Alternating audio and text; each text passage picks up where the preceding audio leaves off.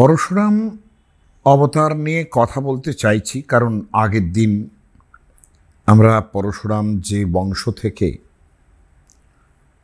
তার আবির্ভাব হয়েছে, সেটা আমরা আলোচনা করেছি ভৃগু বংশ, বিখ্যাত ভৃগু বংশ ভৃগুমণির বংশ, যার অন্তত তিন, চার, পাঁচ, ছয় পর্যন্ত প্রত্যেকটি যে ধারায় যে স্ত্রীর ধারায় যিনি আসুন প্রত্যেকটি মনি ঋষি অত্যন্ত ইম্পর্ট্যান্ট যেটা ভারতবর্ষে, সমগ্র ভারতবর্ষে তাদের বংশ পরম্পরা ছড়িয়ে গেছে বলে আমরা মনে করি। বিশেষ করে মহাভারতে বারংবার পরশুরামের কথা এসেছে এবং কখনো প্রসঙ্গে, কখনো অপ্রসঙ্গে। এই অপ্রসঙ্গে আসা থেকেই আরও বোঝা যায় যে মহাভারত রচনার ক্ষেত্রে, মহাভারত নির্মাণের ক্ষেত্রে, ভৃগুবংশীয় পরশুরাম।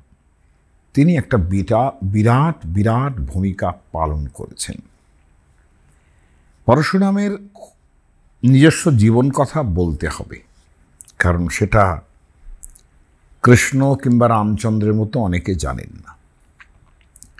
দ্বিতীয়, আমরা আগেও বলেছি যে যে অর্থে মৎস্যকুর্ম বরাহকে আমরা কিংবা নৃসিংহ বামনকেও আমরা অবতার বলি অথবা রামচন্দ্র, বলরাম কিংবা বুদ্ধ, কল্কি, কৃষ্ণকেও আমরা যে অর্থে অবতার বলি, পরশুরাম কিন্তু সেই অর্থে নন। এবং এর আগেও আমি সেই গীতার শ্লোক উচ্চারণ করেছিলাম, যেখানে বলেছিলাম যে ইয়াদ ইয়াদ বিভূতি সত্যম শ্রীমৎ ঊর্জিতমে বাবা যেখানে যেখানে তার যে শ্রী, অত্যধিক সৌন্দর্য, অত্যধিক বল, অত্যধিক ক্ষমতা অত্যধিক, যা কিছুই অত্যধিক।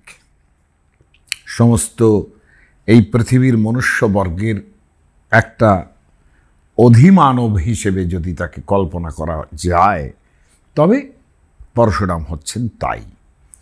এবং তার অনেকটাই সেটা যে তৎকালীন দিনের যে ব্রাহ্মণ্য এবং খাত্র শক্তি জেনারেলি রাজত্ব করতেন রাজারা কিন্তু তাদের এক্সিকিউটিভ ক্ষমতাটা ছিল। ব্রাহ্মণরা কিন্তু তাদের গাইড করতেন এবং আইন প্রণয়নের ভার কিন্তু ব্রাহ্মণদের হাতে ছিল। এটা মাথায় রাখার দরকার। দেখবেন প্রত্যেকটারই একজন, প্রত্যেক বংশের একটা বড় কুলপুরোহিত আছে।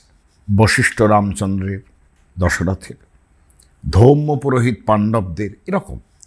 এই যে পৌরোহিত্য এবং যে বিশাল একটা একটা বড় একটা ঋষি সমাজ রাজাদের পাশে থাকতেন। সেইখানে ব্রাহ্মণ এবং ক্ষত্রিয় এরা দুজনেই খুব কাছাকাছি। কিন্তু একটা সময়ে নিশ্চয়ই ক্ষত্রিয়র যে শক্তি সেটা এমন একটা স্বেচ্ছাচারিতার পর্যায়ে পৌঁছায়, যেখানে পরশুরামের প্রয়োজন হচ্ছে অথচ ব্রাহ্মণ হওয়া সত্ত্বেও তিনি কিন্তু ক্ষত্রিয়ের বৃত্তি সম্পন্ন এবং তিনি এটা সকলেই জানে, আমি আগের দিনও বলেছি, যে তিনি একুশবার ক্ষত্রিয় নিধন করেছিলেন। কেন করেছিলেন? সেই কথায় আমরা, কাহিনীতে আমরা আসব। তার আগে আরও দুটো কথা বলব। একটা হচ্ছে যে পরশুরামের যে যে যে একটা অবতার প্রমাণ ভাবনা, অবতার যদি হিস্টোরিসিটি না থাকে, দুটো ভাবে অবতার হয়। এ প্রসঙ্গে আমি পরেও আসব ডিটেইলসে যখন রামচন্দ্রের কথা আলোচনা করতে হবে। কৃষ্ণের কথা আলোচনা করতে হবে। কিন্তু এটা ঘটনা যে অবতার প্রমাণ পুরুষ দুভাবে হয়। একটা হচ্ছে যে মনুষ্য লোকে তার এমন একটা প্রভাব প্রতিপত্তি তৈরি হয় এবং তার একটা হিস্টোরিসিটি থাকে, যেখান থেকে আলটিমেটলি তিনি একটা অবতার প্রমাণ পুরুষে প্রায় ভগবান হিসেবে গণ্য হতে থাকেন। সবচেয়ে ভালো বুঝবেন এটা চৈতন্যদেবের উদাহরণ, বুদ্ধের উদাহরণে। তারা কিন্তু হিস্টোরিক্যালি ছিলেন এবং আমার মতে রামচন্দ্র এবং কৃষ্ণ হিস্টোরিক্যালি ছিলেন, সে কথা পরে বলব, এখন বলব না। কিন্তু চৈতন্য মহাপ্রভু কিংবা রামকৃষ্ণ তো হিস্টোরিসিটি তাদের কোনো কোনো সম্বন্ধে কোনো সন্দেহ নেই যে তারা ছিলেন। তারাও কিন্তু ভগবানের পর্যায়ে পৌঁছেছেন। ঠিক সেইভাবে অমানসিক কর্মের দ্বারা একজন হিস্টোরিক্যাল পার্সোনালিটি তিনি অবতারের জায়গায় পৌঁছন। তার প্রধান এবং প্রথম উদাহরণ বোধ হয় পরশুরাম এবং এটা এমন একটা ব্যাপার যে আমাদের যেসব স্কাল্পচার আমি এই কথাটা বলতে চাইছি এই কারণে যে মোস্ট অ্যানসেন্ট টেম্পল যেগুলো আমাদের সুক্তাঙ্কর সাহেব বলেছেন আর কি, যিনি মহাভারতের সমস্ত তার এডিটরশিপে যেটা মহাভারতের সংকলন তৈরি হয় ক্রিটিক্যাল এডিশন হয়। তিনি খুব সুন্দর করে বলছেন একটা জায়গায় যে কতটা হিস্টোরিক এবং কতটা অ্যানসেন্ট তিনি যে যখন পরশুরাম নাম হয়নি যখনও সেই রকম একটা অ্যানসেন্ট পিরিয়ডে যে পাঞ্জাবের কাংরা প্রদেশে সেখানে কিন্তু পরশুরামের নামে একটা একটা টেম্পল আছে। বলছেন এই শোক্তঙ্কার সাহেব যে উদয়পুর স্টেটে একটা ট্যাঙ্ক আছে, অর্থাৎ উদয়পুর স্টেটে যেখানে একটা একটা পুষ্করিণী আছে উদয়পুর মানে আমাদের বর্তমান রাজস্থানের উদয়পুর। সেইখানে একটা পুষ্করিণী বিশাল পুষ্করিণী আছে। বলা হয় যে সেইখানেই পরশুরাম, যে কথা আমি আগের দিন বলেছি, সমন্ত পঞ্চক, সেই ক্ষত্রিয় রুধিরের মধ্যে সেইটাকে তিনি পিতৃতর্পণ করে সেখানে স্নান করেছিলেন। তারই দোতক হিসেবে একটা পুষ্করিণী কিন্তু জয়পুরের উদয় উদয়পুর অঞ্চলে এখনও পর্যন্ত ডেডিকেটেড টু পরশুরামও এবং আমরা মনে করি সেটাই সমন্ত পঞ্চক। বলছেন, বম্বে প্রেসিডেন্সি সেখানে বিজাপুর ডিস্ট্রিক্টে, সেখানে পরশুরামের যে একটা রক আছে, যেটার আকৃতি একটা কুঠারের মতো এবং সেটা, সেটাকে পরশুরামের কুষার বলে বলা হয় এবং ওখানকার জনশ্রুতি, ওখানকার যে মিথ, সেটা এই মন্দিরটার সম্বন্ধে, এই জায়গাটার সম্বন্ধে যেটা চলে, যে পরশুরাম ওইখানে তার সমস্ত ক্ষত্রিয় নিধন করার পর তার পরশু মানে কুঠারটি ওখানে ধুয়েছিলেন। ধুয়েছিলেন সেই জায়গাটা, রক্তমাখা কুষারটাকে ওখানে ধুয়েছিলেন। এই জায়গাটা নাকি বম্বে প্রেসিডেন্সিতে আছে। গোকর্ণের কথা বলছেন যে সেখানে একটা পুষ্করিণী আছে, মহাদেবের উদ্দেশ্যে নিবেদিত। কিন্তু নাকি নাকি সেটা জামদগ্ন রাম সেটা তৈরি করেছিলেন। এরকম একটা কথা আছে। আসাম তার লখিমপুর ডিস্ট্রিক্ট যেখানে একটা একটা বিশাল পুষ্করিণী আছে, এখানে বলা হয় যে করশুরাম এখানে তার কুঠারটা ফেলে দিয়েছিলেন ক্ষত্রিয়দের অন্ত করার পর এবং এখনও পর্যন্ত সেখানে কিন্তু লোকজন সেখানে পূর্ণ পবিত্র বিশ্বাসে সেখানে যায় আর কি। এটা আমাদের, আমি বলে রাখলাম এই কারণে পরশুরামের পপুলারিটি কতটা ছিল যে স্কাল্পচারগুলো একটা পুষ্করিণীগুলো তার নামাঙ্কিত হয়েছে এবং সেটা আজকে নয়। বহু, বহুকাল অ্যানসেন্ট পিরিয়ডে সেগুলো কিন্তু নামাঙ্কিত হয়েছে আরও একটা কথা আমি প্রথমে বলে নেব। সেটা হলো, আমি আগের দিন সমন্ত পঞ্চকের কথা বলেছিলাম ভৃগু বংশের ভাবনার ক্ষেত্রে। সেই যে সমন্ত পঞ্চক যার কথা প্রথম আরম্ভ করেছিলেন আমাদের উগ্রশ্রবা সৌতি, যে আমি সমন্ত পঞ্চকটা দেখে এলাম, যেখানে এই ভৃগু, যেখানে পরশুরাম, তার ক্ষত্রিয় রুধির যে এটা, সেখানে তিনি পিতৃতর্পণ করেছিলেন। আমি এখানে জায়গাটা এই জন্য উল্লেখ করছি, এই সমন্ত পঞ্চকের কথা আরেকবার উল্লেখ করছি এই কারণে, কেননা এটা আমাদের পরে কাজে লাগবে। আপনারা যদি একটু ধারাবাহিকভাবে আমার কথাটা শোনেন, তাহলে হিস্টোরিসিটি এবং এইগুলো বুঝতে পারবেন ভালো করে। একটা কথা খেয়াল করুন যে সমন্ত পঞ্চকের কথা বলার সময় সৌতি উগ্রস্রবা যেটা বলছেন ঋষিদের, বলছেন সেই রাম সেই রাম মানে দেখুন, মহাভারতের মধ্যেও রাম নাম, আগে পরশুরাম ছিল না, তাকে রাম বলেই চিরকাল বলা হয়েছে এবং মহাভারতের মধ্যে যখন একটা জায়গায় দশাবতারের কথা বলা হচ্ছে, সেই দশাবতারের সঙ্গে কিন্তু আমাদের জয়দেব কবির দশাবতারের কোনো ভেদ নেই, মহাভারত, এটা মাথায় রাখুন। অন্য কোনো আধুনিক গ্রন্থ নয়, পুরাণ নয়।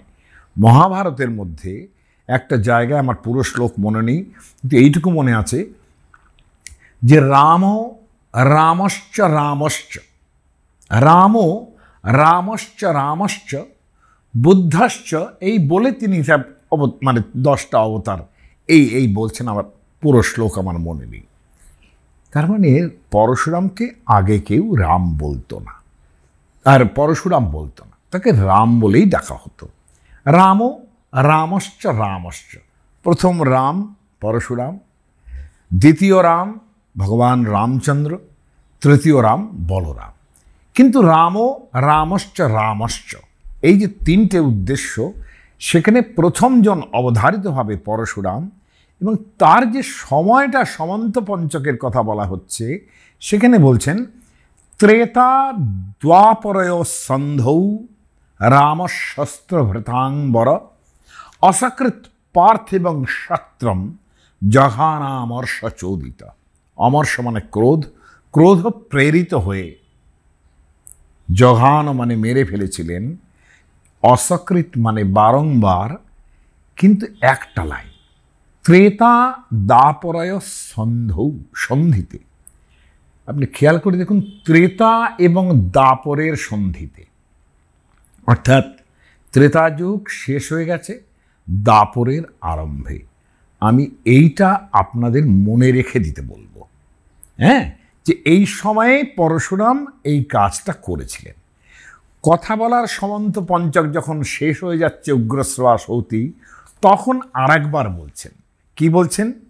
অন্তরে চৈব সম্প্রাপ্তে বললেন যে এই জায়গাটা সমন্ত পঞ্চক, এই নাম হয়েছে জেন লিঙ্গেন যো দেশ যে জায়গার যে নাম সেই জায়গাটা তার নামেই বিখ্যাত হয়, সেই চিহ্নে বিখ্যাত হয়, এই কথা আমি আগের দিন বলেছি।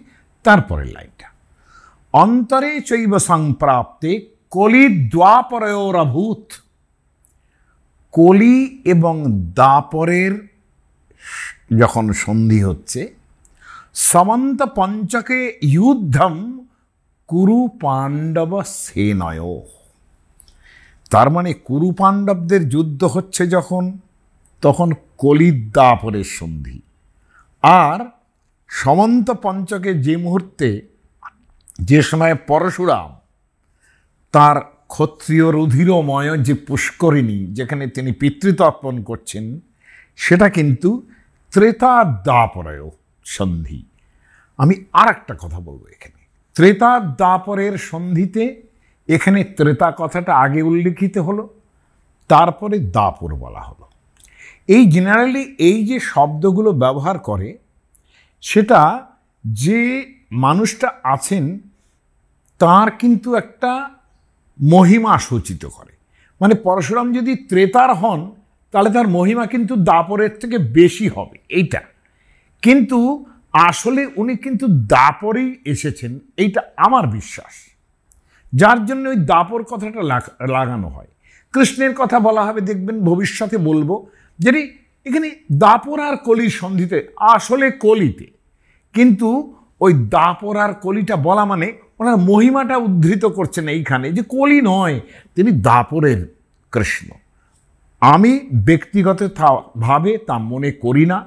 আমি মনে করি কৃষ্ণ কলিতেই সে কটা পরে প্রমাণ দেব। দ্বিতীয়ত, এই যে কুরুক্ষেত্রের যুদ্ধটা হলো, এখানে শব্দটা খেয়াল করেছেন?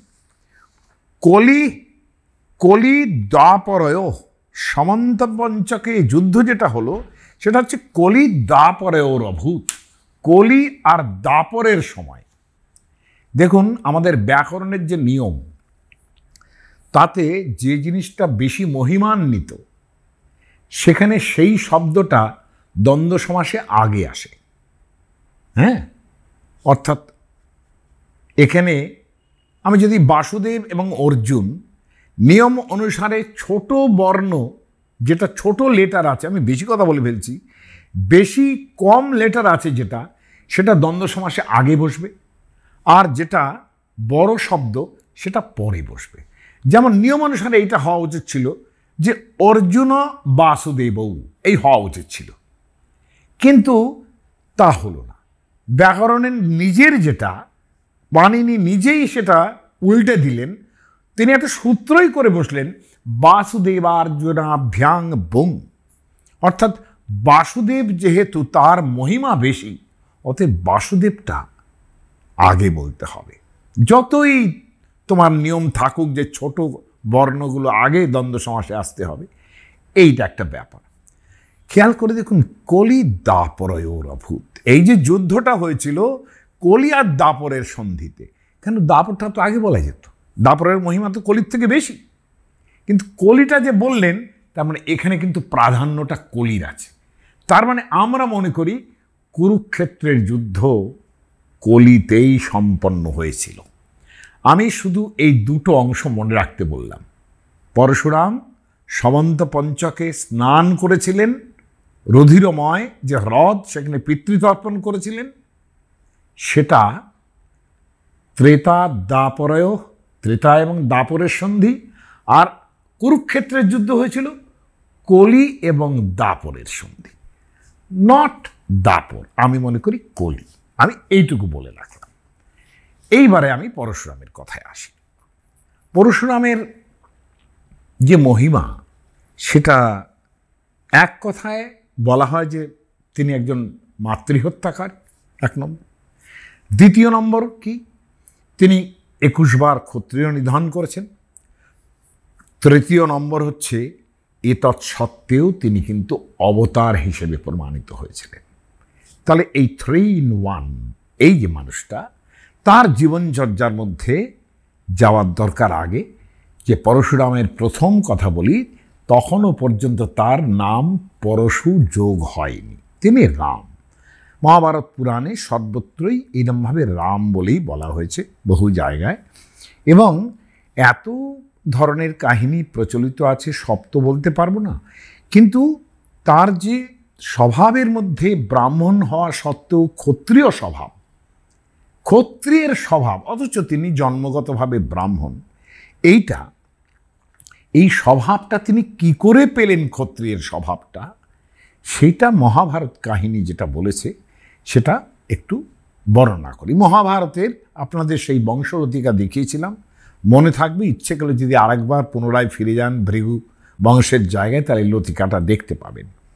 সেখানে পরশুরামের যিনি পিতামহ, তার নাম হচ্ছে ঋচিক। ব্রাহ্মণ হওয়া সত্ত্বেও তিনি কিন্তু বিবাহ করেছিলেন কান্নকুব্জের রাজা গাধীর একমাত্র মেয়ে সত্যবতীকে। গাধীর নামটা আপনারা মনে রাখতে হবে এই জন্যে যে মহর্ষি বিশ্বামিত্র যে বিশ্বামিত্রের মুখে প্রথম বেদে গায়ত্রী মন্ত্র উচ্চারিত হয়েছিল, সেই বিশ্বামিত্র। সেই বিশ্বামিত্র যে বংশে জন্মেছেন তাকে গাধীজ বলা হয়, গাধীজ। হ্যাঁ? গাধী জ মানে যিনি জন্মেছেন, যেমন পঙ্কজ, পঙ্কে জন্মে যাহা পঙ্কজ, সেমনি গাধীজ। মনুসংহিতায় আছে ব্রাহ্মণ্যঞ্চৈব গাধীজ। তিনি ক্ষত্রিয় ছিলেন, আবার ব্রাহ্মণ হয়ে গেছিলেন। বিশ্বামিত্রর লাইফটাও সাংঘাতিক ব্যাপার। সে কথা কোনো দিন যদি বলতে পারি, পরে বলব। কিন্তু এই যে গাধী রাজা, তার যে মেয়ে তাকে ঋচিক দেখলেন, ঋচিক তখন তপস্যা করতে করতে বেশ বয়স হয়ে গেছে। সেই সময়ে চন্দ্রবংশ যে রাজা, তিনি মানে গাধী, তিনি একটুখানি তপস্যা তপস্যা করতে গিয়েছিলেন বনবাসে।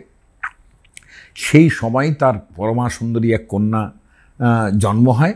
তার নাম সত্যপতি এবং তিনি যখনই বড় হয়েছেন, সেই যৌবনবতী সত্যপতিকে দেখে ঋচিক প্রার্থনা করলেন যে আমি এই এই কন্যাকে, আপনার কন্যাকে বিবাহ করতে চাই। তখন এই যে একটা বয়স হয়ে গেছে, তাকে সঙ্গে বিয়ে দেওয়া, একটু গাধীর একটু সমস্যা হলো।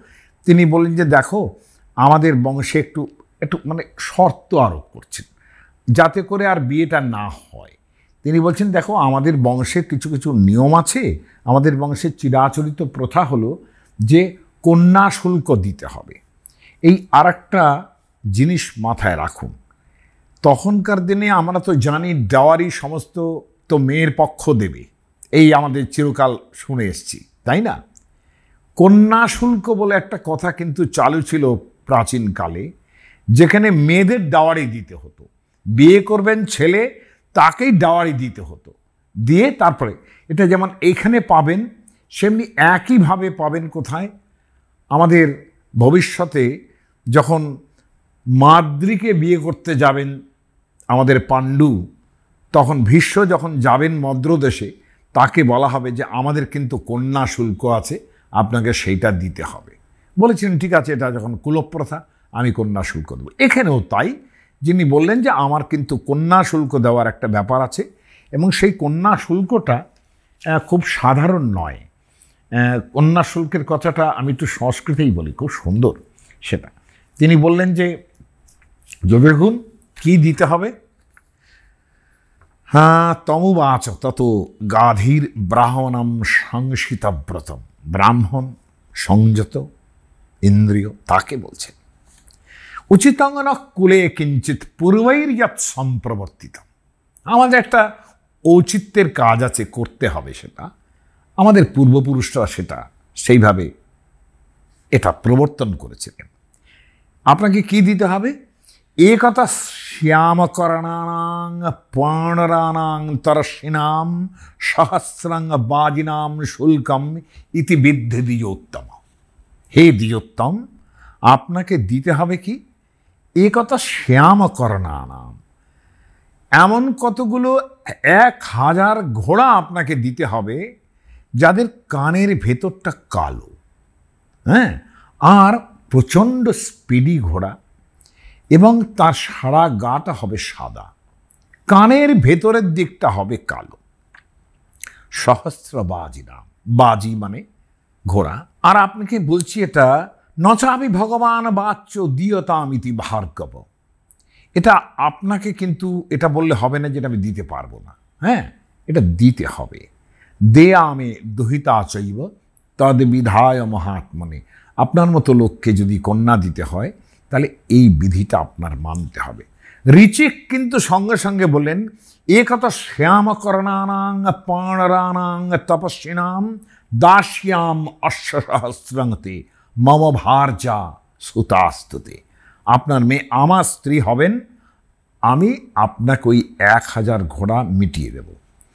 এই অবস্থায় এই গল্প বলছেন আবার যিনি, তিনি পরশুরামের অত্যন্ত প্রিয় সহচর এবং তার সখা বলা যায়, তার সারথিত্ব করেছেন তিনি, তার নাম হচ্ছে অকৃতব্রণ। তার প্রশ্ন হয়তো কথা বলতে পারব সময় মতো। সেই কথা বলার পর এই এই যে মুনি, তিনি ভগবান বরুণের কাছে চলে গেলেন। তখন তো বৈদিক দেবতাদের রমরমা। এই ব্রহ্মা, বিষ্ণু, মহেশ্বরের তখনও কোনো ভাবনা নেই। ভৃগবংশ যখন চলছে। বরুণের কাছে গিয়ে বললেন যে, ভগবান বরুণ, আমি এতকাল আপনার তপস্যা করেছি। বরুণ, খেয়াল করে দেখুন, এই ভৃগবংশের সঙ্গে বোধহয় এর একটা সম্পর্কও আছে। কেননা দেখুন, ভৃগু জন্মেছিলেন বরুণের যজ্ঞে। খেয়াল করে দেখুন, সেই বরুণের যজ্ঞের আগুন থেকে ভৃগু জন্মেছিলেন। তার মানে বরুণ দেবতা, যাকে সমস্ত বাইরের দেশের লোকেরা যারা আছেন, যারা সাহেব শুভরা বরুণের ভাবনা নিয়ে করেছেন, তাকে বলছেন, হাই গড! মানে বেদিক প্যান্থিয়ানে বরুণ কিন্তু খুব বড় একজন দেবতা আর কি। তাকে বলা হয়েছে, high god! One of the high gods হচ্ছেন বরুণ, আরেকজন অবশ্যই ইন্দ্র। এখন এই বরুণের কাছে গিয়ে যখন চাইলেন, সেই চাওয়ার পর তিনি বলেন যে, ঠিক আছে, আমি দিয়ে দিচ্ছি তোমাকে, এ কত শ্যাম বর্ণানাং দিয়ে দিচ্ছি। দেওয়ার পর সেই সমস্ত জিনিসটা মিটিয়ে দিলেন এবং ঋচিকের হাতে সম্প্রদান করার পর সত্যবতীর মতো এক সুন্দরী এবং গুণবতী পত্নী তিনি লাভ করলেন, কিন্তু মাথায় রাখুন, এই মুহূর্তেই কিন্তু ক্ষত্রিয়ের সঙ্গে ব্রাহ্মণের রক্তের সংক্রমণ ঘটল। অর্থাৎ কিনা এই যে চিরকাল বলছি না আমরা, যে অসবর্ণ বিবাহ অসবর্ণ বিবাহ, এসব, বলবেন যে ওর ক্ষমতা আছে উনি করছেন, না। আরম্ভ হচ্ছে কিন্তু। এবং এর পরবর্তী সময়ে দেখব যে এই বংশ বংশ ধরে এরা ক্ষত্রিয়ের মেয়ে বিয়ে করছে। এবং যে বংশে, এই বংশেই কিন্তু ভগ, শুক্রাচার্য জন্মাবেন। সেই শুক্রাচার্যের যে মেয়ে হলো, তারও কিন্তু বিয়ে হলো একজন ক্ষত্রিয়ের সঙ্গে। ভবিষ্যতে সে কথা আসবে। কিন্তু আমি বলছি, বংশের মধ্যে যে অনুলোম প্রতিলোম সংক্রমণ কিন্তু এখন থেকে তৈরি হয়ে যাচ্ছে। এই যে রিচি, এই যে ঋচিক এবং সত্যবতী, এরা সুখে সংসার করতে আরম্ভ করলেন এবং বিবাহের পর সত্যবতীও একদম ঋষি বংশের উপযুক্ত। দেখুন, তখনকার দিনের এরকম ধরনের ক্ষত্রিয়ের একেবারে যারা অত্যন্ত ভাবে, সুন্দরভাবে লালিত হয়েছেন, তারা কিন্তু অনেক সময় ঋষিদের পছন্দও করেছেন। সব জায়গায় যে তারা অপছন্দ করে বিবাহ করেছেন, তা কিন্তু নয়। এটা এটা মানতে হবে। আমি বৈদিক সেবাস্যের উদাহরণ পরে দেব। কোনোদিন যদি পারি, কোনো গল্পের প্রসঙ্গে এসেই যাবে সে কথা। এবং মানে সেবাস্যের কাহিনী তো এইরকম ছিল যে, তার স্ত্রীর নাম ছিল শশী অসী এত সুন্দর নাম। তালব্যস তালব্যস্বয় হর্ষই অন্তস্থ। তারপরে তালব্যস্বয় দীর্ঘইকার।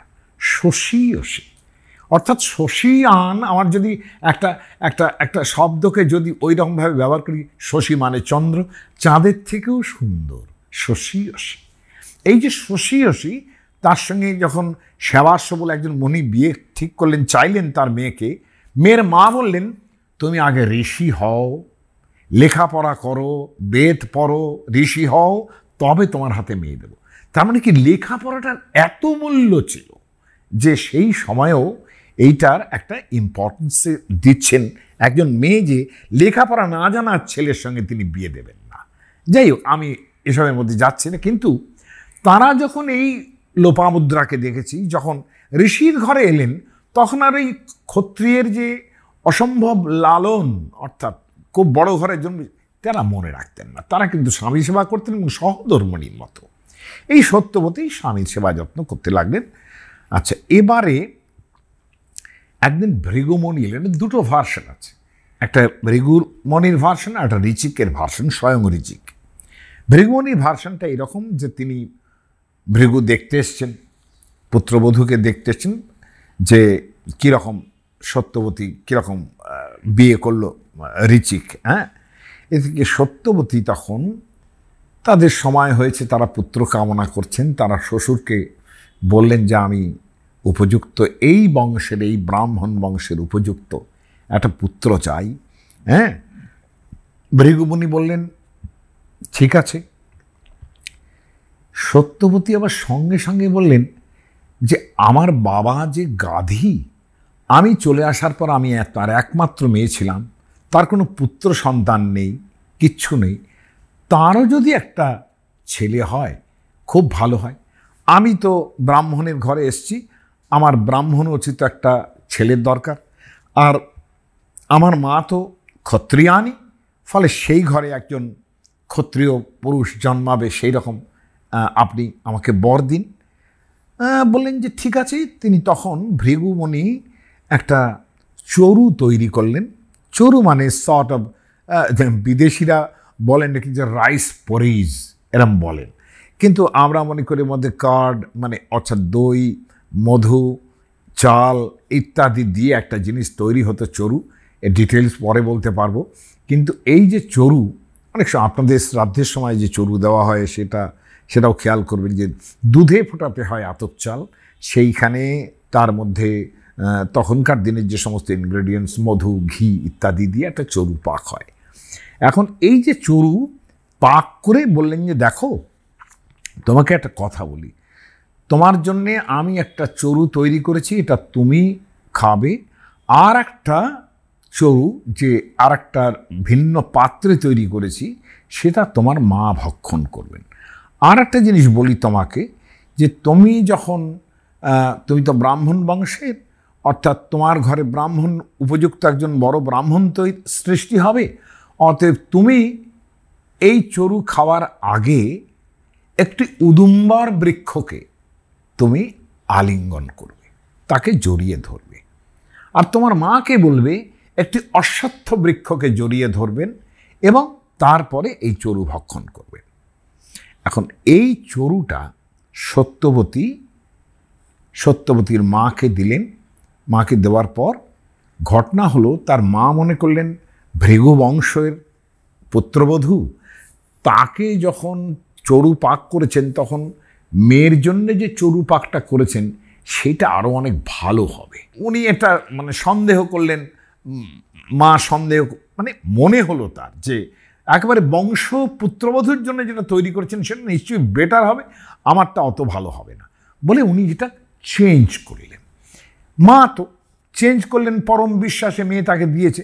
চেঞ্জ করার পর তিনি সেটা ভক্ষণ করলেন এবং আমি এখন বেশি ডিটেলস যাচ্ছি না।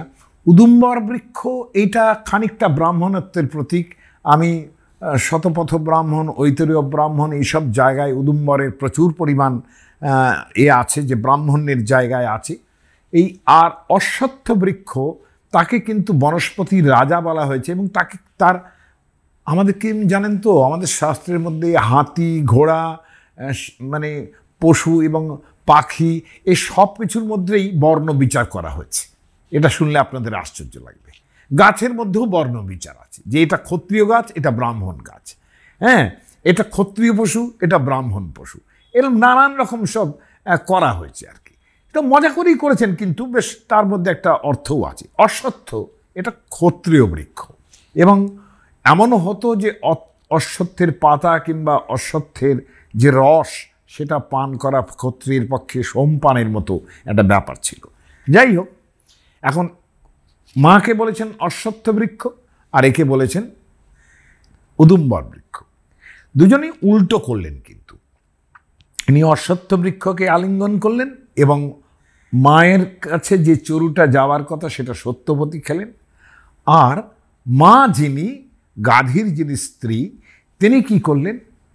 তিনি সত্যবতীর চরুটা খেলেন এবং উদুম্বর বৃক্ষকে আলিঙ্গন করলেন। আমি উদুম্বর আর এর ছেড়ে দিয়ে এইটুকু বলছি যে একটু শ্লোকটা বলে দিই। প্রাসিতব্যং প্রযত্নেন, প্রাসিতব্যং, প্রাস অস ধাতু মানে খাওয়া, প্রকৃষ্টভাবে ভোজন করা, তাকে প্রাস বলে, যাকে অন্নপ্রাশন খেয়াল করে দেখুন। প্রাস মানে প্রকৃষ্টভাবে ভোজন। যে ছেলে মেয়েকে আগে সিরিয়াল খেত না, দুধ খেত কিংবা ইত্যাদি, তাকে যে প্রথম ভাত দিচ্ছি, সেটা প্রকৃষ্ট ভোজন। সেই জন্যে প্রাস অন্নপ্রাশন প্রাসিতব্যং প্রযত্নেন। ইত্যুক্তা অদর্শনঙ্গত। এটা বলে চলে গেলেন। এই যে চলে গেলেন, তারপরেই উনি দিব্য দৃষ্টিতে দেখতে পেলেন যে ব্যাপারটা উল্টো হয়ে গেছে এবং ভৃগু ফিরে এলেন। ফিরে এসে বললেন যে, এটা তোমরা কি করেছ?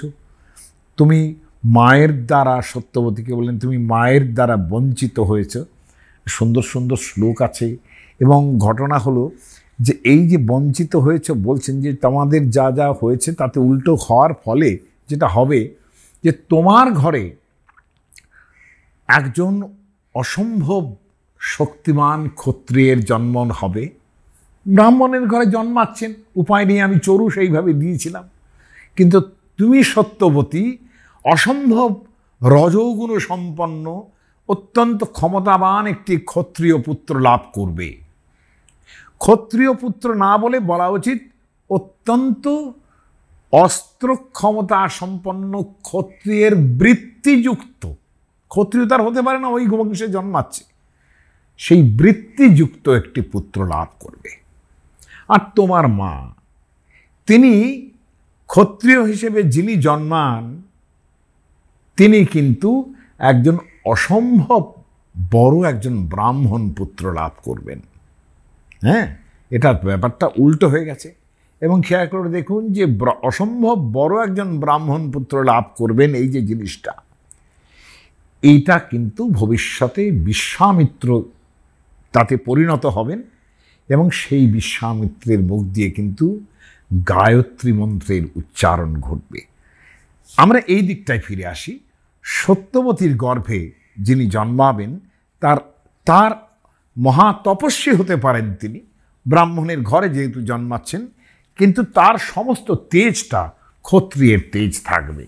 কিন্তু এইটুকু বলি যে এই ভার্সনটার সঙ্গে মহাভারতে আর একটা ভার্সন যেটা আমরা মহাভারতের শান্তি পর্বে দেখব, সেখানে এই চরুর ব্যাপারটা সত্যবতীর স্বামীকেই অনুরোধ করছেন যে আপনি আমাকে এই ব্যবস্থাটা করুন যে একটা পুত্র সন্তান যাতে আমার ভালো জন্মায় এবং ব্রাহ্মণ এবং আমার মা জননী তার ঘরে যেন একটা অসম্ভব ভালো একজন ক্ষত্রিয় পুত্র জন্মায়। যখন সত্যপতির কাছে ভৃগু কিংবা ঋচিক যে ভার্সনই থাকুক, দুজনেই বললেন যে তোমার একটি অসম্ভব শক্তি সম্পন্ন ক্ষত্রিয় পুত্র জন্মাবে। হ্যাঁ? সেখানে সত্যবতী বললেন, দেখুন, আমি এরকম পুত্র চাইনি। এই ব্রাহ্মণের ঘরে আমি এসছি। আমার এই পুত্র যেন এরকম না হয়। বরঞ্চ আমার পৌত্র হোক, অর্থাৎ আমার নাতি এরকম হোক, তাতে আমার আপত্তি নেই। কিন্তু আমার পুত্র এরকম হলে চলবে না। আপনি এইটুকু কৃপা করুন। ভৃগুর ভার্সনেও যা আছে, ঋচিকের ভার্সনেও তা আছে। বলেন আচ্ছা ঠিক আছে, তাই হবে। অন্তত ঋচিক যেটা বলেছিলেন যে, পুত্রে না আসতে বিশেষ উনি। আমার পুত্রেও বিশেষ ব্যাপার নেই, পৌত্রেও বিশেষ ব্যাপার নেই কারণ একই বংশধারা। সেখানে যথাতয়োক্তম বচনম, তথা ভদ্রে ভবিষ্যতি। তুমি যেরকম চাইছো, সেরকমই হবে। এরকম ঘটনাটা ঘটল যে, তার যে পুত্র হলো, তার নাম হলো যমদগ্নি। ঋচিকো যমনামাস যমদগ্নি তপনিধিম, সোপি পুত্রম হি অজনয়ত, যমদগ্নি সুদারুণম, সর্ববিদ্যান্তগং শ্রেষ্ঠম, ধনুর্বেদস্য পারগম। মজা হচ্ছে ভৃগুর সময় থেকেই কিন্তু অস্ত্রবিদ্যার চর্চাটা এখানে আছে। ফলে ঋচিকও যেরকম খানিকটা অস্ত্রবিদ্যার চর্চা করেছেন, যমদগ্নিও করেছেন। পরশুরামের এখনও জন্ম হয়নি। তারপরে যমদগ্নির যিনি পুত্র হলেন, রামং ক্ষত্রিয় হন্তারম প্রদীপ্তমিব পাবকম। এবং তিনি কি করলেন? জন্মানোর পর কিছুদিন যেতেই তোষয়িত্বা একবারেই বলে দিচ্ছেন সব। তোষয়িত্বা মহাদেবম পর্বতে গন্ধমাদনে, এটা সূত্র করছেন, অস্ত্রাণী বরায়ামাস পরসঞ্চাতি তেজসম। এখানে গল্প আছে, এটা সূত্র বললেই তো হবে না। আমাকে কাহিনীটা বলতে হবে। এখন ব্যাপারটা জানালো যে জন্মানোর পর যে প্রথম প্রথম ঘটনাগুলো ঘটতে আরম্ভ করল পরশুরামের তখন অল্প বয়স, তার মা রেণুকা। আবারও বলি, যমদগ্নি যাকে বিয়ে করলেন, সপ্রসেন জিতং রাজম, অধিগম্যে জনাধিপম প্রসেন বলে একজন রাজা তার কাছে যমদগ্নি গেলেন, রেণুকাং বরয়ামাস সতস্মৈ, সচতস্মৈ দদৌ নৃপ। তিনি প্রত, তিনি এই প্রসেনজিৎ রাজার কাছে তার মেয়ে রেণুকাকে চাইলেন এবং রাজা তুষ্ট মনে তার সঙ্গে বিয়ে দিয়ে দিলেন। এই যে রেণুকা পরশুরামের যখন অল্প বয়স তখন তিনি একদিন স্নান করতে গেছেন। স্নান করতে গিয়ে দেখুন শিশ মানে শুষ্ক, রুক্ষ মুনির ঘরে এরা থাকেন দিনের পর দিন। যত শাস্ত্র চর্চা হয়, এমনকি যত শস্ত্র চর্চা হয়, সেখানে কিন্তু শরীর মনের যে ব্যাপারগুলো থাকে, বিশেষ করে স্ত্রীলোকের যদি বা কিছু থাকে, সেই ব্যাপারগুলো সাধারণত পূর্ণ হয় না। তাকে সারা জীবন ধরে তপস্যার জোগাড় করতে হয়, সহধর্মিনী হিসাবেই সেটা থাকে এর বড় একটা রিবাফ খুব ভালো পাওয়া যাবে লোক লোপামুদ্রার চরিত্রে, সেটা পরে যদি কোনো সময় পরে বলব। কিন্তু রেণুকার মনের মধ্যে যখন স্নান করতে গেলেন, তিনি একজন দেখলেন যে একজন রাজা চিত্ররথ, তিনি অনেকগুলি মহিলা তার সঙ্গে বসে জলকেলি করছে এবং তিনি চিত্ররথকে দেখে বেশ একটু মানে মুগ্ধ হলেন বলা যায়। হ্যাঁ এই মুগ্ধ হওয়ার পর তিনি স্নান সেরে আসলেন, কিন্তু তার সারা শরীর যে জলবিন্দু, তার রোমহর্ষণের সঙ্গে মিশে গেল কিনা বলতে পারি না, কিন্তু সেটা তখনও পর্যন্ত বর্তমান ছিল যখন তিনি ঘরে এসে উপস্থিত হলেন। এবং তাকে দেখে যমদগ্নির খুব রাগ হলো যে তুমি এরকমভাবে কার প্রেমে পড়েছ ইত্যাদি ইত্যাদি, এবং তাকে মানে খুব রাগে তাকে মেরেই ফেলতে চাইলেন। মানে কুলটা ইত্যাদি বলতে থাকলেন, পাপিষ্ঠা ইত্যাদি বলতে থাকলেন। এবং আমাদের সাহেব শুভরা অত তো আমাদের পরম্পরা জানেন না। আমাদের রসশাস্ত্রেরও বোধ তাদের কম আছে। ব্রায়ান কলিন্স বলে একজন ভদ্রলোক, তিনি এই পরশুরামের উপরে একটু লিখতে লিখতে গেছেন আর কি। লেখার সময় বলেছেন যে এই চিত্ররথকে দেখে যমদগ মানে জমদগ্নি স্ত্রী রেণুকার তার হাত থেকে কলসি পড়ে গেল, জলের কলসি পড়ে গেল। আর এবং এতটাই তার নাকি এ হলো যে সর্ট অফ ওয়াটার মানে শি বিকেম ওয়েট এইটা বোঝাতে চাইছেন ব্রায়ান কলিন্স। ভদ্রলোক কিছু বোঝেননি। আমাদের এখানে ওই রকম কথায় কথায় মানে ওয়েট হয়ে যাওয়া এই জিনিসটা অন্তত সাহিত্যের ক্ষেত্রে কখনো আসেনি।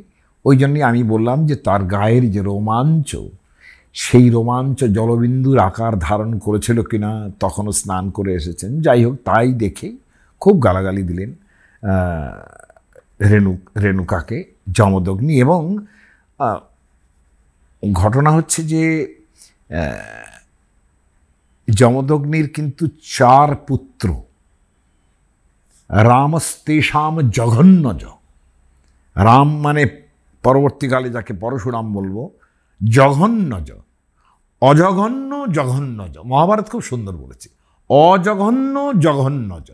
অর্থাৎ জঘন্য বলতে আমরা কিন্তু খুব খারাপ অর্থে ব্যবহার করি, জঘন শব্দের সঙ্গে লাগিয়ে।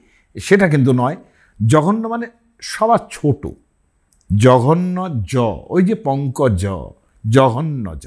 আবার অজঘন্য। অন্য ব্যাপারে তিনি ভয়ঙ্কর রকমের শ্রেষ্ঠ। সেই জন্য মহাভারত খুব সুন্দর ব্যবহার করেছে, অজঘন্য, জঘন্য জ। সবার ছোট হচ্ছেন রাম। সবাই বাইরে গিয়েছিল, ফিরে আসতেই যমদগ্নি তার চার ছেলেকে এক এক করে বললেন যে, এই রেণুকাকে মেরে ফেলো। ও কুলোটা পাপিষ্ঠা হয়েছে। ওরা কেউ মারলেন ওরা বাপার কথা শুনলেন না। রাম যখন ফিরলেন, বললেন, তুমি মাতাকে বধ করো। পরশুরাম কাছে একটা কুঠার ছিল। কুঠার নিয়ে প্রথমে মায়ের মাথা কেটে ফেললেন এবং এই প্রথম অবতার প্রমাণ পুরুষ রাম তার সঙ্গে মাতৃহত্যার দায় লেগে গেল। মাতাকে বধ করার ফলেই খুব খুশি হলেন যমদগ্নি যে তুমি আমার কথা শুনেছ। কেউ কেউ বলেন, এই সময় থেকেই তিনি পরশুরাম নামে পরিচিত হন। আমরা তা মনে করি না, আমরা তা মনে করি না। সামনে কুঠার ছিল, কেটে ফেলেছেন। যাই হোক, যমদগ্নি যে ক্রুদ্ধ ছিলেন, তার ক্রোধ শান্ত হলো এবং তিনি এত খুশি হলেন যে তিনি পিতার কথা সঙ্গে সঙ্গে পালন করেছেন বলে তাকে বর দিতে চাইলেন এবং ইচ্ছা মতো বর দিতে চাইলে। বলে, তুমি যা ইচ্ছে করো, তোমাকে তাই দেব। পিতাকে যমদগ্নি বললেন, আমি যা ইচ্ছা করি, তাই আপনি দেবেন তো? হ্যাঁ তুমি যা চাও, তুমি আমার কথা শুনেছ, এইরকম পিতৃসত্ব পালন করেছ তুমি। আরও একজন পিতৃসত্ব পালন করবেন আর এক রাম ভবিষ্যতে, তার কথায় আসব। ইনি তো মেরেই ফেললেন মাকে। পরশুরাম বললেন, যদি আপনি বরই দেবেন, এতই যদি আপনি খুশি হয়েছেন আমার ওপর, তাহলে আমার মা যেন আবার বেঁচে ওঠে। এবং একই সঙ্গে তার যেন মনে না থাকে যে আমি তাকে মেরেছি। এটা আমার দ্বিতীয় বর। আমার ভাইয়েরা যাদের আপনি অভিশাপ দিয়েছেন, তারা যেন সাপমুক্ত হয়। এবং স্বাভাবিক অবস্থা যেন সকলেই ফিরে পায়। এবং আমি যেন দীর্ঘায়ু এবং যুদ্ধে অজেয় হই। আমি কোনো যুদ্ধে যেন আমাকে কেউ হারাতে না পারে। সব অব্রে মাতুর উত্থানম। মাতু গলাকাটা হয়ে পড়েছিলেন। তিনি উত্থানম। তিনি বেঁচে উঠবেন। অস্মৃতিঞ্চ অস্মৃতিঞ্চ বধস্য বই আমি যে মাতৃ হত্যা করেছি, তার স্মৃতি তার থাকবে পাপেন চেন চাস্পর্শম ভাতৃণাং প্রকৃতিং তথা আমার কোনো পাপ হবে না, মাতৃহত্যা করেছি বলে। সেটাও বর্ধিত হবে। ভাত, ভাইয়েরা, তারা আপনার অভিশাপ মুক্ত হন এবং দদৌচ সর্বান কামান। যা যা চেয়েছিলেন পরশুরাম, সব কিন্তু যমদগ্নি দিয়ে দিলেন। দীর্ঘায়ু হতে চেয়েছিলেন। কতটা দীর্ঘায়ু আমরা দেখব যে ত্রেতা যুগ থেকে দাপর যুগ পর্যন্ত বাঁচছেন অথবা তার ইনস্টিটিউশন চলছে যেভাবেই হোক। হ্যাঁ? এখন এই যে ব্রাহ্মণ বালক, অর্থাৎ ব্যাপারটা কি আগের মতো সব হয়ে গেল? কোনো স্মৃতি না থাকা মানে সব কিছুই নর্ম্যাল আবার। হ্যাঁ?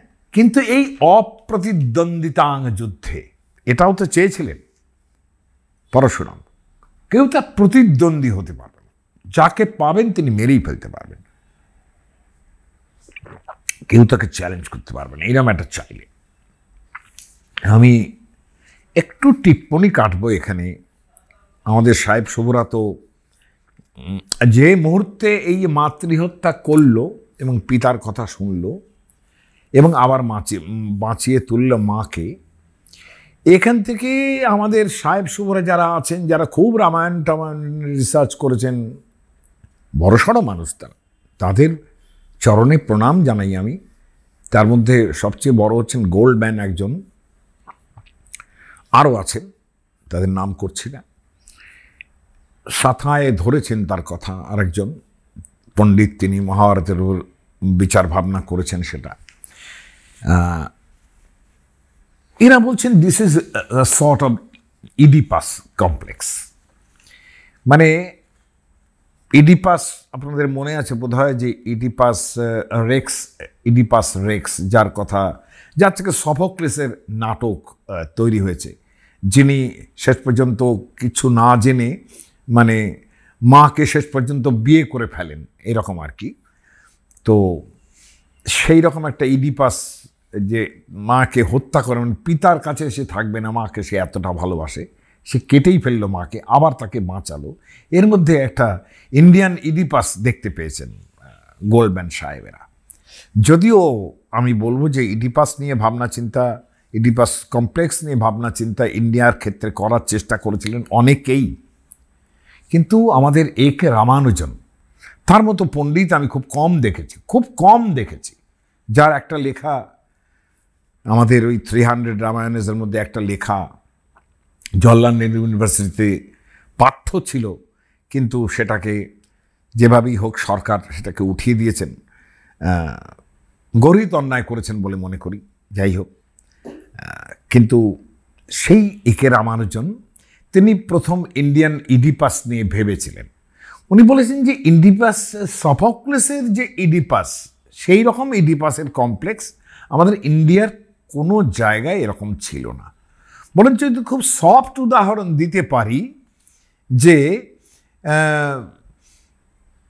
গণেশ নাকি এক সময় তার মা তাকে বলছেন, তোমার বিয়ে দিতে চাই? তো তুমি কেমন মেয়ে পছন্দ করবে? একে রামানুজন লিখছেন। তো পার্বতী তাকে যখন বলেছেন, তুমি কেমন মেয়ে পছন্দ করবে? গণেশ নাকি বলেছিলেন যে, এটা তামিল গল্প। একে রামানুজন বলছেন। যে পার্বতীকে তখন গণেশ বলেন যে, ঠিক তোমার মতো যে সুন্দর হবে, আমি তাকে বিয়ে করতে চাই। পার্বতী শুনে খুব রেগে গেলেন, এতই রেগে গেলেন যে বলেন যে, তোকে আর আমি বিয়েই দেব না। এখন এটা ইডিপাস কিনা?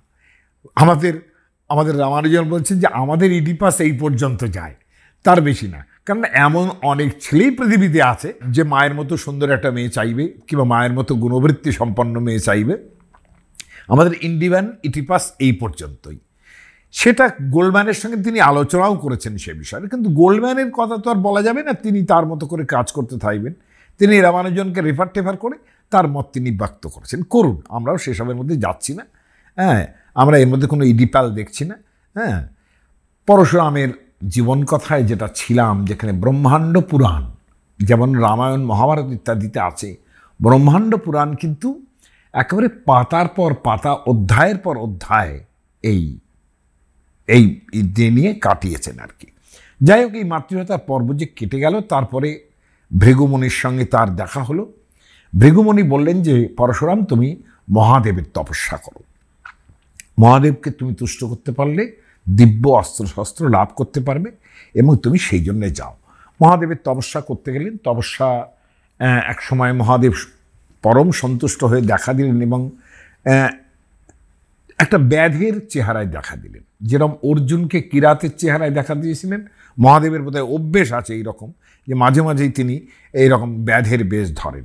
যার জন্যে শবরদের মধ্যে মহাদেব, কিরাতদের মধ্যে মহাদেবের ইয়েটাও বেশি। যার জন্য তিনি সেই রকম একটা বেশ ধারণ করলেন, বললেন, আমার নাম তো প্রবর্ষ তো সব প্রবর্ষ। এই বলে দেখা টাকা হলো, তো খানিক্ষণের মধ্যে আমি এই বনাঞ্চলের রাজা কিন্তু এই ইষ্টদেবকে দেখে খানিক্ষণের মধ্যেই তার সঙ্গে একটু ঝগড়াঝাটি, একটু হতে হতে থাকলেই কিন্তু পরশুরাম বুঝে গেলেন, রাম পরশুরাম নয়। বুঝে গেলেন যে তিনি মহাদেবের সঙ্গে কথা বলছেন, তার ইষ্ট দেবতার সঙ্গে তার দেখা হয়েছে। তিনি তার প্রচুর স্তব করলেন, স্তব করে বললেন যে, আমাকে দিব্যাস্ত্র দিন এবং আমাকে ওই অপ্রতিদ্বন্দ্বিতাং যুদ্ধে এইসব বর আমাকে চাইলেন। মহাদেব বললেন, দেখো এখনও তোমার তপস্যা সম্পূর্ণ হয়নি। তোমার সব দেব, তুমি আরও তপস্যা করতে হবে তোমাকে। আবার তিনি তপস্যা করতে চলে গেলেন। ব্রাহ্মণ বংশের লোক তো হাজারো লোক, তপস্যা করতে কোনো সমস্যা নেই। কারণ পরশুরাম আবার তপস্যা করতে চলে গেলেন। মহাদেবকে তুষ্ট করতেই হবে। এর মধ্যে দেবতা এবং দৈত্যদের যুদ্ধ টুদ্ধ লাগল। খুব মারামারি, হানাহানি হচ্ছে। দৈত্যদের প্ররোচনায় শেষ পর্যন্ত দেবতারা আর তাদের রাজ্য রাখতে পারছেন না। তারা এসে মহাদেবের শরণাপন্ন হলেন। মহাদেব বললেন যে, তোমাদের একজনই উদ্ধার করতে পারবে, সে হচ্ছে এই রাম, যিনি আমার তপস্যা করছেন। বলে, তাহলে সে তাকে পাবো কি করে? বলে, তাকে আমিই ডাকছি। হ্যাঁ তিনি একজন অনুচর পাঠালেন। পরশুরাম কৈলাসে এলেন। পরশুরামকে তখন তিনি বললেন যে, দেখো, এই যে কুঠার পরশু এই দিব্য কুঠার তোমাকে দিচ্ছি। এই পরশুরাম হওয়ার সম্ভাবনা। আমি দেখছি দেখছি। মহাদেব তাকে পরশুরাম, পরশু দিলেন একটি কুঠার দিলেন এবং বললেন যে, দেখো, অসুরদের সঙ্গে তোমার যুদ্ধ করতে হবে দৈত্য দানবদের সঙ্গে যুদ্ধ করতে হবে।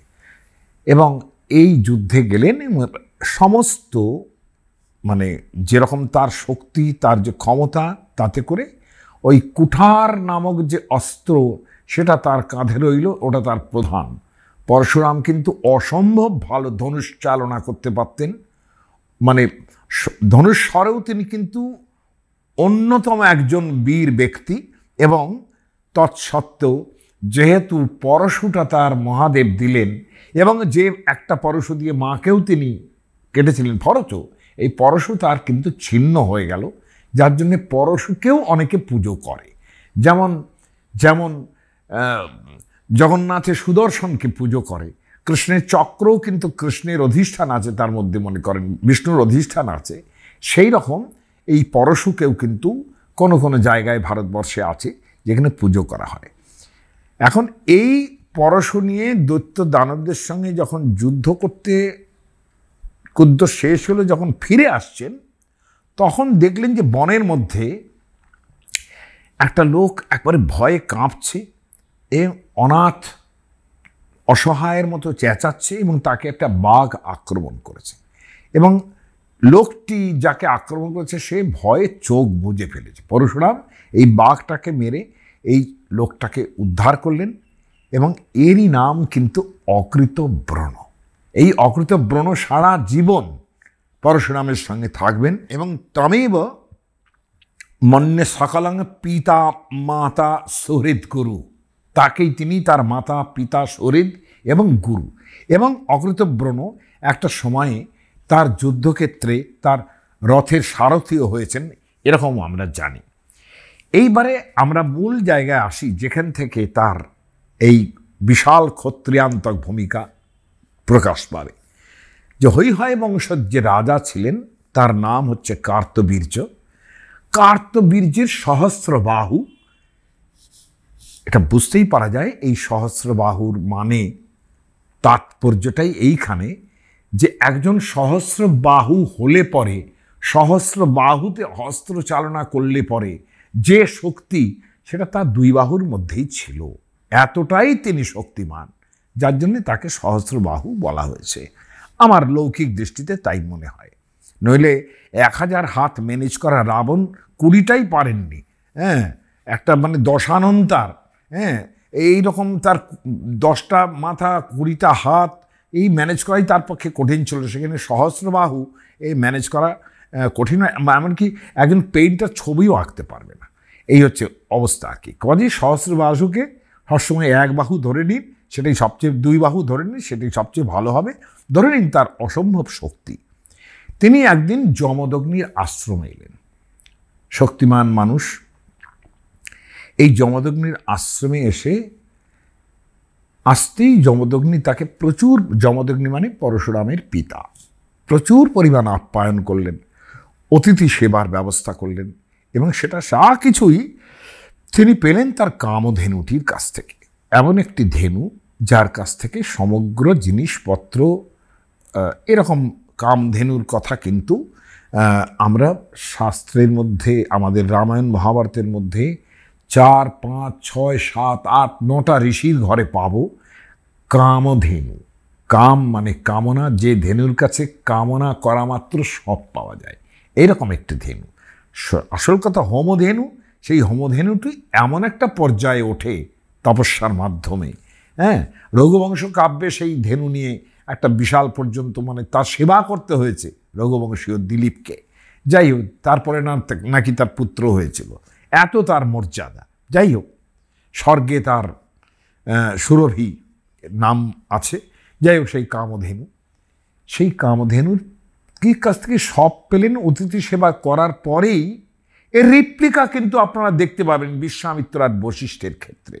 পরবর্তীকালে সেখানে কোনোদিন যদি আসতে পারে। এখন এই কামধেনুর ক্ষমতা দেখে কার্তবীর্য অর্জুন মোহিত হয়ে গেলেন, বললেন যে, কামধেনুটা আমাকে দিতে হবে। উনি বললেন যে, এটা তো আমি দিতে পারি না। আমি অতিথি সৎকার করেছি, আপনার ঠিক আছে। সমস্ত কিছু আমি এর কাছে পাই। আমি ব্রাহ্মণ মানুষ, আমার তো অন্য কোনো ক্ষমতা নেই, অন্য কোনো রুজি রোজগার নেই, কিছু তো করতে পারব না। কাজেই এটা আমি দিতে পারব এটা শুনে তিনি একবারে আশ্রমটা তছনছ করে দিলেন, একদম সৈন্যাসৈন্য সামন্ত দিয়ে আশ্রম তছনছ করে দিলেন এবং এত মারলেন যমদগ্নিকে যে যমদগ্নি প্রায় মৃত্যু হয় এইরকম একটা অবস্থায় পড়ে রইলেন এবং পরশুরাম সেই সময় ছিলেন না। পরশুরাম ফিরে এসে দেখলেন যে প্রায় পিতা মৃত্যু শয্যায় এবং এই সময়ে তিনি ভৃগু মহর্ষিকে স্মরণ করেন। তিনি এসে সঞ্জীবনী বিদ্যার মাধ্যমে সেই যমদগ্নিকে তিনি বাঁচিয়ে তোলেন এবং সেই সময়েই ভৃগুর কাছে আমাদের পরশুরাম বলেন, আমি এইবার ক্ষত্রিয় নিধন করতে যাব।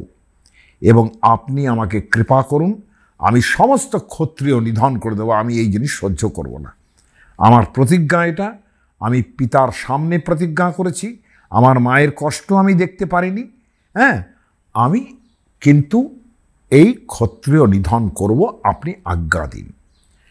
তখন তিনি বললেন যে, দেখো, আমি এটা বলতে পারব কিন্তু আমি তার সঙ্গে আগে বলব, তুমি ব্রহ্মার সঙ্গে কথা বলো। ব্রহ্মা কি করেন দেখো, তিনি কি বলেন দেখো। ব্রহ্মা বললেন যে, ঠিক আছে, তুমি যখন এটা করবে বলে ভাবছ, তুমি মহাদেবের কাছে যাও, তোমার ইষ্ট দেবতা। মহাদেবের কাছে গেলেন। প্রপিতামহ ভৃগু যে বর দিলেন যে, ঠিক আছে, তুমি যাও। তারপরে ব্রহ্মা, তারপরে ক্ষত্রিয় শূন্য করার যে, কেন? বলেছেন যে আমার মা রেণুকা, পিতাকে ওই রকম প্রায় মৃত্যুপথ যাত্রী দেখে একুশ বার বুক চাপড়ে কেঁদেছিলেন। সেই একুশ বার যেহেতু কেঁদেছিলেন, আমি একুশ বার এই পৃথিবী নিক্ষত্রিয় করে দেব। তাবৎ সংকমহং পৃথিম করে সে ক্ষত্রবর্জিতম এই একুশ বার আমি নিক্ষত্রিয় করব। ভগবান শিব অনুমতি দিলেন। এবং তাকে প্রচুর পরিমাণ আরও সমস্ত অস্ত্র শস্ত্র যত আছে, ব্রহ্মাস্ত্র, নারায়ণাস্ত্র, আগ্নেয়াস্ত্র, যত রকম অস্ত্র আছে, সব দিয়ে তিনি তাকে সমৃদ্ধ করে দিলেন এবং এবার কার্তবীর্যার্যদের সঙ্গে যুদ্ধ আরম্ভ হলো, সঙ্গে কিন্তু সেই অকৃতব্রণ আছেন। এবং পরশুরামের সঙ্গে যুদ্ধে কার্তবীর্য মোটেই পারলেন না এবং তার সব ধ্বংস হয়ে গেল। তার ছেলেরা আশ্রম থেকে পালিয়ে গেল। মানে কার্তবীর্যের রাজধানী থেকে পালিয়ে গেল। কার্তবীর্য মারা পড়ল বটে, কিন্তু তার ছেলেরা পালিয়ে গেল সেখান থেকে। কার্তবীর্য মৃত্যুর পর কিছুদিনের মধ্যেই সেই যে ছেলেরা কার্তবীর্যের মারা গিয়েছিল, সেই ছেলেরা আবার যমদগ্নির আশ্রমে ফিরে এসে কার্তবীর্যের যে বধ হলো, তার প্রতিশোধ নেবার জন্যে তারা এসে যমদগ্নির গলা কেটে রেখে গেল, একদম। ব্রহ্মাণ্ড পুরাণ এরকম বলছে যে যমদগ্নির মাথাটা কেটে রেখে সেই মাথাটা তারা নিয়ে চলে গেল এবং মুন্ডহীন দেহ পড়ে রইল আশ্রমে। পরশুরাম এই নৃশংস ঘটনা দেখার পর ক্ষত্রিয়দের উচিত শিক্ষা দেবার জন্য বেরিয়ে পড়লেন। তখনও পর্যন্ত তিনি একুশবার নিক্ষত্রিয় করেননি। কি কৃপা হয়েছিল তিনি থেমে গিয়েছিলেন। কিন্তু এইটার পর যে মহাভারতে যেটা বর্ণনা হচ্ছে আর কি, যে সমস্ত প্রচুর প্রচুর পরিমাণ ক্ষত্রিয় ধ্বংস করে এলেন। তারপরে মহাভারতের একটা জায়গায় দেখা যাচ্ছে যে এইসব ক্ষত্রিয় ধ্বংস করার পর মহাভারতে পরাবসু বলে একজন, সে আবার ওই বিশ্বামিত্রে মানে মামাবাড়ির লোক আর কি। মানে পরশুরামের বাপের মামাবাড়ির লোক। তো তাই এসে পরাবসু তাকে বললেন যে, এ, তুমি বলো সব ক্ষত্রিয় অংশ ধ্বংস করে দিচ্ছে ধ্বংসকৃত এখনও প্রচুর ক্ষত্রিয় বেঁচে আছে। তুমি তুমি তার গর্ভস্থ শিশুদের মেরে দিতে পারোনি হ্যাঁ? ফলে যারা সব গর্ভস্থ ছিল, তাদের জন্য আবার প্রচুর পরিমাণ ক্ষত্রিয় তৈরি হয়ে গেছে। ক্ষত্রিয় আবার বেরিয়ে পড়লেন।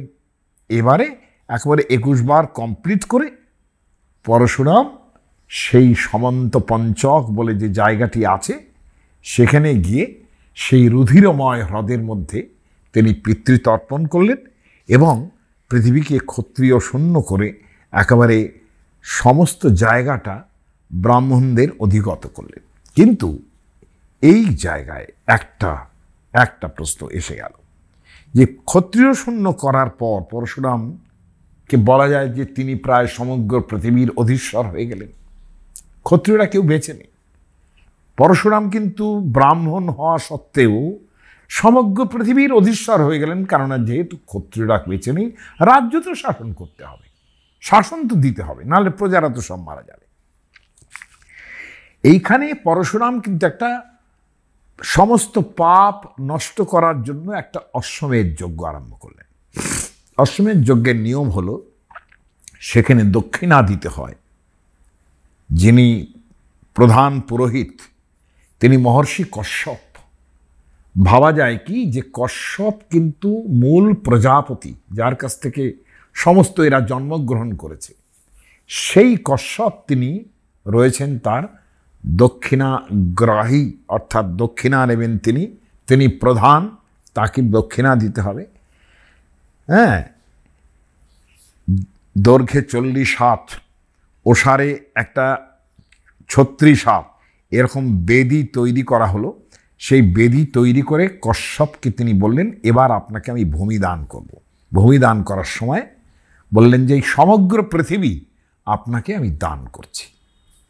এরকম সমগ্র পৃথিবী দানের কথা আগেও অন্যান্য অশ্বমের যজ্ঞেও হয়েছে।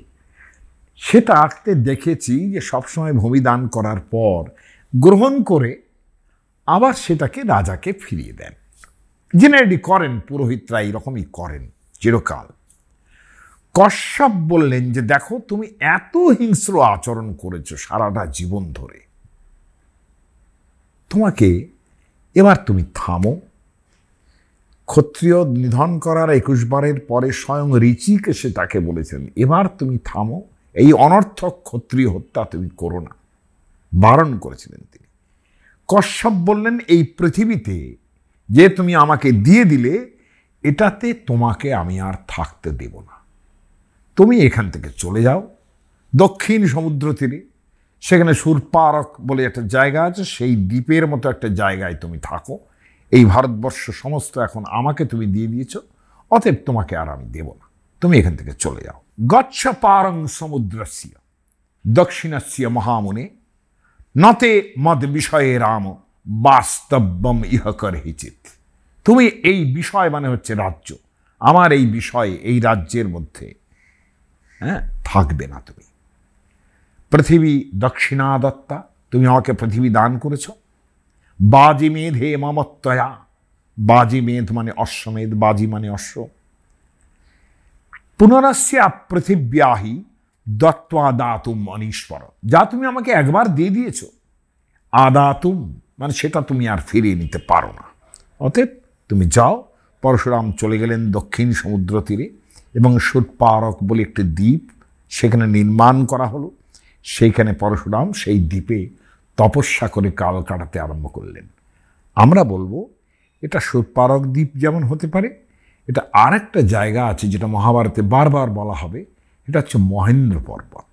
সেইখানে কৃষ্ণের সঙ্গে, বলরামের সঙ্গে তার দেখা হয়েছিল এবং বহু জায়গায় দেখছি তিনি মহেন্দ্র পর্বত থেকেই নেমে আসছেন। কাজেই মহেন্দ্র পর্বতও একটা অন্য জায়গা হতে পারে যেখানে তিনি থাকতেন। এই মহেন্দ্র পর্বতে তার জায়গা হলো, সেখানেই তিনি তপস্যা করতে তপস্যা করতে আরম্ভ করলেন। আরেকটা কথা বলা উচিত এখানে আমার, যে পরশুরামকে চিরজীবী বলা হয়। মানে তিনি চিরকাল বেঁচে আছেন। এমনিতে তার দীর্ঘ আয়ু আমরা দেখেছি, এবং পরম্পরাক্রমে তার শিষ্য প্রশিষ্য ক্রমে একটা পরম্পরা দেখেছি, সেটা তো অন্য কথা। কিন্তু তিনি চিরজীবী বলে একটা বিখ্যাত, হয়তো পরের দিন সেটা নিয়ে আলোচনা করব, এবং পরশুরামের অন্যান্য বিচিত্র বিষয় নিয়েও কিছু আলোচনা করা রইল।